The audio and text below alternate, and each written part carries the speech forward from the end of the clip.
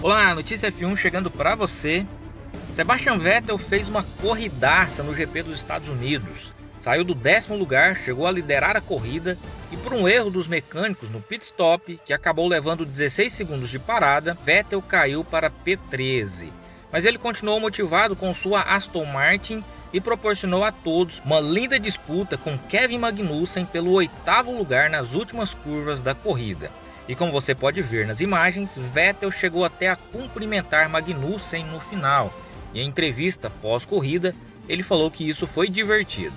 Após conseguir ultrapassar Kevin Magnussen nos metros finais, Vettel explodiu sua adrenalina pelo rádio. Mas antes de você ouvir o rádio de Vettel aqui, peço uma gentileza a você, que se inscreva aqui no nosso canal.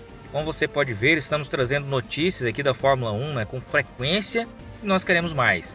Queremos crescer, melhorar o canal e para que isso aconteça, preciso que você que acompanha aqui o canal nos dê essa força, se inscrevendo, curtindo, comentando, pois isso faz com que o algoritmo aqui do YouTube divulgue mais nosso canal. Então, se inscreve aí, beleza? Agora confira só o rádio do Vettel após cruzar a linha de chegada. You, the man, well done. Use your energy. Yes, baby! Woo! Man, we got him! Woo! Oh. Good job. That's oh man! A hell of a race. Good recovery. Yeah, sorry about the pit stop. Well uh, P8. Oh baby.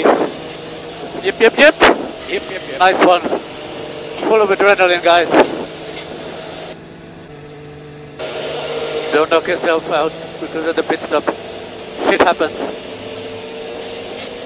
Yeah, man. Yep. Just make sure we learn from it. Legal demais, né, pessoal? Vettel hoje na batalha com Kevin lembrou os tempos em que era mais novo e pilotava com a sua Red Bull. Era ousadia pura.